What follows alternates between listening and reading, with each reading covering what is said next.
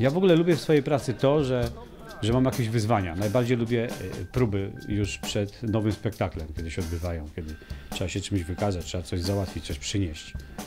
Po prostu człowiek się wtedy nie nudzi.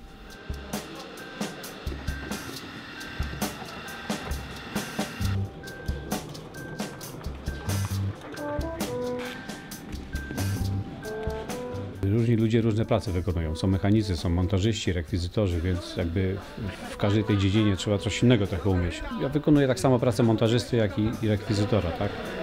Robię część z chłopcami, montuję, później przechodzę do swojej pracy.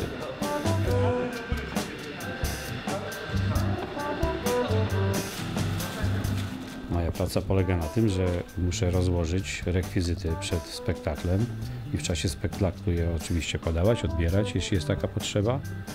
I je wszystkie przygotowywać na dane miejsce kłaść, bo tak jest to mówię z aktorami.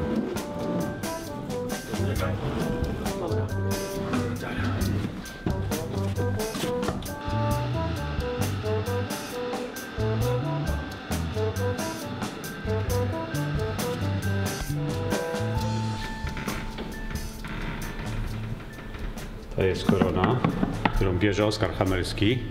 Wyjeżdżasz z tyłu sceny na podnośniku, na niego jest skupione światło i mówi przysięgam.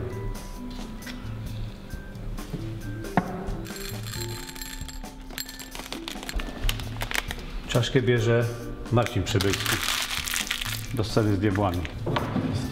flagi.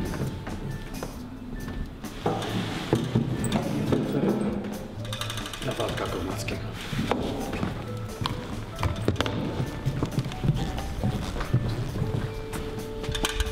Flagi stawiamy tutaj dla aktorów, tak się umówiliśmy.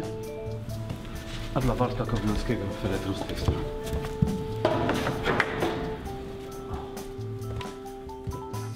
Dla mnie żelazną zasadą to jest to, że trzeba zawsze być odpowiedzialny za swoją pracę, czyli trzeba wszystkiego naprawdę dopilnować, bo czasami przez brak jakiegoś rekwizytu można naprawdę zawalić spektakl totalnie. Co z aktorem, jak się rozmawia, to nie wolno powiedzieć, że się czegoś nie da.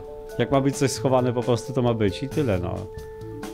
Pyta się aktora, skąd chcesz to brać, z której kulisy, na przykład trzeciej, okej, będzie leżało tutaj przy kulisie od początku, może być spokojnie.